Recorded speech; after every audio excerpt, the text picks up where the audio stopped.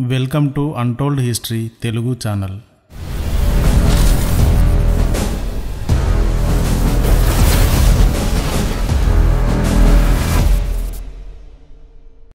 భారతీయ సాంప్రదాయంలో ఒక అందమైన అనుభూతిని కమ్మనైన ప్రేమని పంచే పండగ రాఖీ పండగ.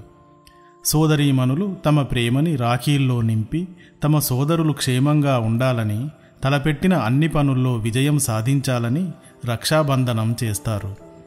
ఈ సోదరులు అంతే ప్రేమతో అంతే కోరికతో వారికి కానుకలు ఇస్తారు. అవి చూసుకుని మా సోదరులు ఇచ్చిన కానుకలు అని పొంగిపోయి పెళ్ళైన వాళ్ళైతే అత్తవారింట అందరికీ చూపించి మురిసిపోతారు. పెళ్ళి కాని అమ్మాయిలైతే పది మందికి చూపించి ఆనందిస్తారు. శ్రావణమాసం శుక్లపక్ష పౌర్ణమి రోజున వచ్చే ఈ పండుగను రాఖీ పండుగ అని జంధ్యాల పూర్ణిమ అని వైఖానస మహర్షి పూర్ణిమ అని హయగ్రీవ జయంతి అని రక్షికా పూర్ణిమ అని రక్రీ సాలునో అని సారవీ పూర్ణిమ అని నార్లీ పున్నమి అనే పేర్లతో భారతదేశం అంతా జరుపుకుంటారు.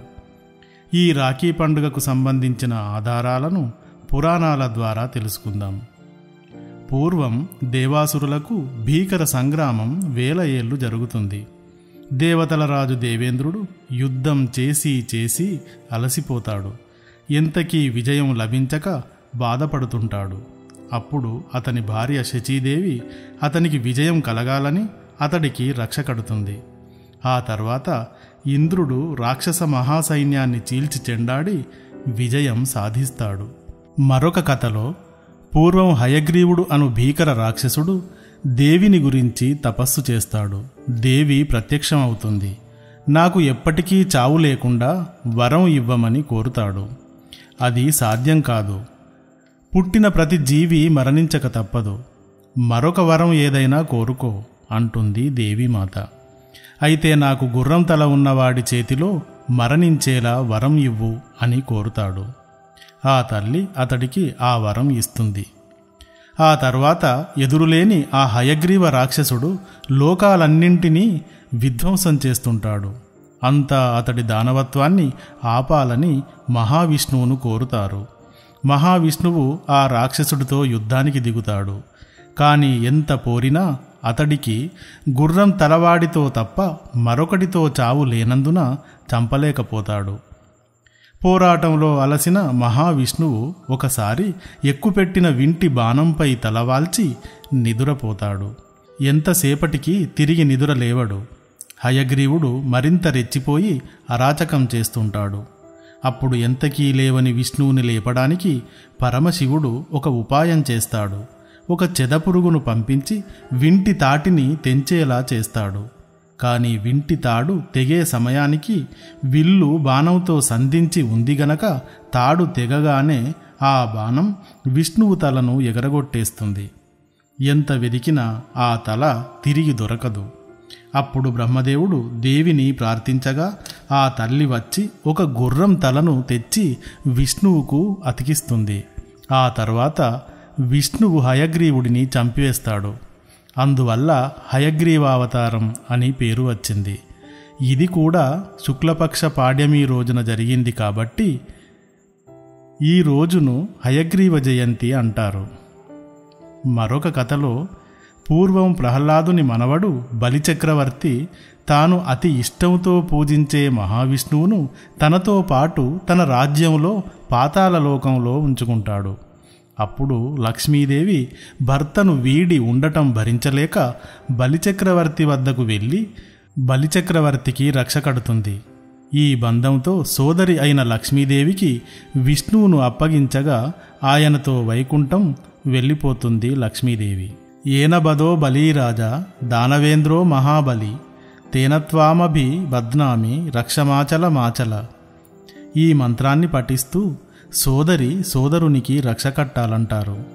మహావిష్ణువు శక్తిచే మహాబలుడు అయిన బలిచక్రవర్తిని బంధించినట్టుగానే ఓ రక్షాబంధమా నీవు నా సోదరునికి రక్షణ కల్పించు అని ఈ మంత్రం అర్థం. అప్పటి నుండి ఈ మంత్రం ప్రచారంలోకి వచ్చింది. మరొక కథలో ధర్మరాజు రాజసూయ యాగం చేస్తున్న సమయంలో మయసభలో శ్రీకృష్ణుడు శిశుపాలుణ్ణి తన చక్రం విసిరి శిరచ్ఛేదం చేస్తాడు. ఆ సందర్భంలో ఆయన వేలుకు గాయం అయి రక్తం కారుతూ ఉంటుంది. ఆ గాయానికి కట్టుకట్టడానికి గుడ్డముక్క తేవడానికి అంతా తలోవేపు పరిగెడతారు. కానీ అక్కడే ఉన్న ద్రౌపది పరిగెత్తుకు వచ్చి తన చీర చెంగును చించి ఆయన వేలుకి కట్టుకడుతుంది.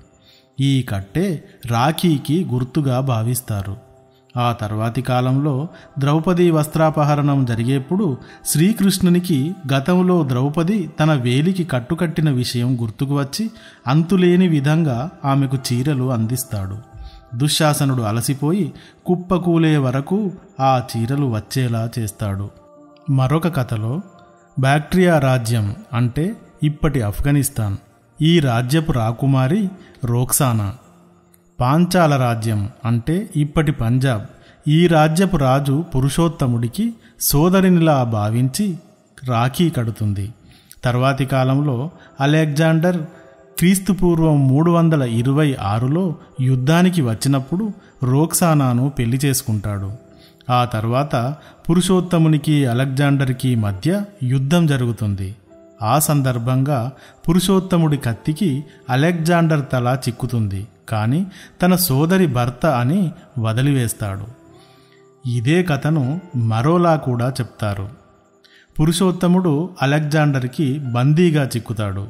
అప్పుడు రోక్సానా తన సోదరుడైన పురుషోత్తముడిని చంపవద్దని అలెగ్జాండర్ని కోరుతుంది.